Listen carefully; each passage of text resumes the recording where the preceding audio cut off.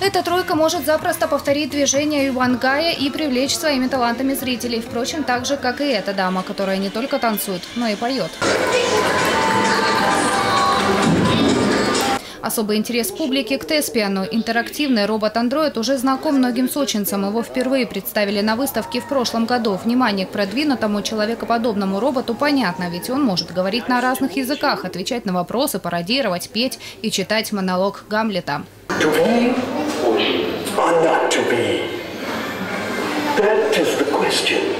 А вот робот Борис для сочинцев новинка. Этот AirBot – настоящий помощник для человека. Позволяет пользователю удаленно присутствовать в любом месте, видеть и слышать все происходящее.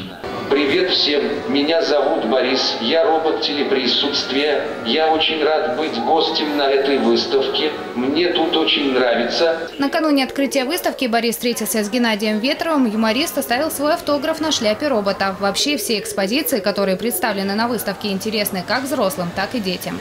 Практически все объекты, присутствующие здесь, они так или иначе взаимодействуют с человеком. То есть это не фигуры, которые стоят отдельно и сами по себе живут. Это все-таки какой-то обмен информацией или эмоцией. Роботы с э, всех уголков мира. Есть Южная Корея, Япония. Робот Теспиан у нас англичанин. Робот Борис Airbot – это, собственно, русский робот. Особое умиление вызывает японский робот «Тюлень». Он был создан специально для престарелых и воспитанников детских домов, где наличие животных запрещено. Пара, так зовут робота, любит, когда его гладят, виляет хвостиком и издает звуки.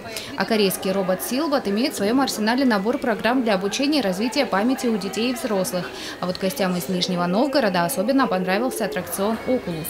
Занимательные очки когда дети а, одевают на себя что-то вроде там, третьей реальности, начинают двигаться по ее законам. Также среди экспонатов есть и робот-теннисист. Эта игрушка хороша для практики настольного тенниса. Бал роботов – это масса научно-развлекательных возможностей для тех, кто стремится идти в ногу со временем. Увидеть последние тенденции в развитии робототехники можно в крае науки и фантастики Сочи парка до 6 сентября. Татьяна Говоркова, Демид Даниловский, телекомпания «ФКТ».